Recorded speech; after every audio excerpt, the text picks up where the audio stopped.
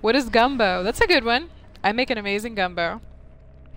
Um, gumbo is so I'm from New Orleans. Gumbo is like a. All right, hold on. I'm gonna I'm gonna address the camera as we talk about this. So gumbo is it's sort of like a stew. It's based off of a roux, R O U X. A roux is a mixture of essentially any type of fat. It can be animal fat or oil and flour.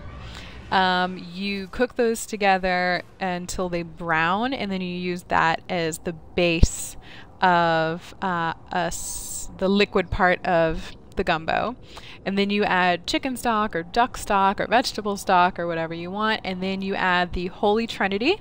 The Holy Trinity of New Orleans cooking is celery, onions, and bell peppers and then you can add then there's tons of different types of gumbo. So you can do chicken andouille which is andouille is a type of sausage. Um, you can do okra gumbo. You can do seafood gumbo. You can do pork or duck or essentially once you make the roux anything else you add in is totally extra.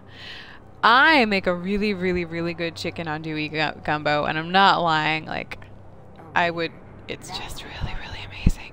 But what i do is fry the chicken. Like deep fry the chicken, bread it and fry it, and then I used the oil from the fried chicken as the fat in the roux. So then the whole gumbo ends up tasting like this fried chicken goodness. And it's amazing. And it's my go-to thing to cook for guys after a few dates to make them fall in love with me. So if you guys ever want to date me, you can look forward to some gumbo and I am accepting applications because the dude I was going to go on a date on stood me up. So I am wide open for that.